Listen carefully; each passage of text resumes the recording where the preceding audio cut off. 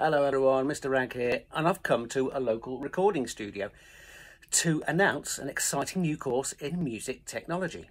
It's a very practical course that will involve 100% of your assessment being based on your practical skills and knowledge applicable to roles in the music and creative industries, and there are no written exams. Most lessons will involve practical tasks and exploration as you become more skilled in using music software to record and create tracks. We'll be using sequencers like Cubase, learning how to set up, record, playback and edit. For example, create an 8-bar beat in real time using a drum or a percussion patch will be one of the first tasks that we do.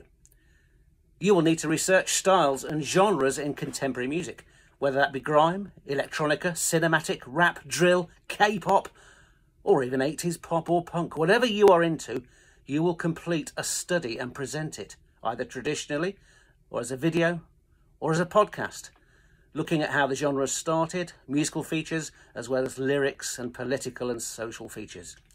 This will be assessed in school by your teachers, with feedback on how to improve, and graded as pass, merit and distinction levels, equivalent to GCSE grading.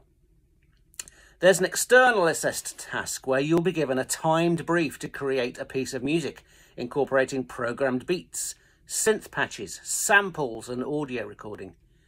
You could use Ableton Live and the push controllers to create and manipulate your sounds. You'll need to know about microphones and their different qualities and uses, such as this, or this, or this one and you will need a recording studio like the one I'm in now. Well, the good news is we don't have to go far, as this is Rawlins' very own recording studio. We've got a 24-track desk running Pro Tools and Logic and loads of professional quality hardware for you to use and become expert in using. You will learn mostly by becoming involved in practical activities. You don't have to play an instrument.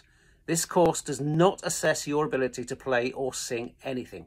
So if you feel you don't have the skills or want to perform, then this is ideal for you.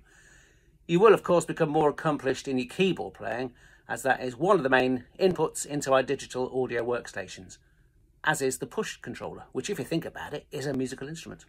Of course, if you play an instrument, guitar, drums, bass, or you might like to rap, for example, then you can record yourself and be used as recording artists for other people. However, we will need your expertise in school productions and concerts as you help with live sound and production.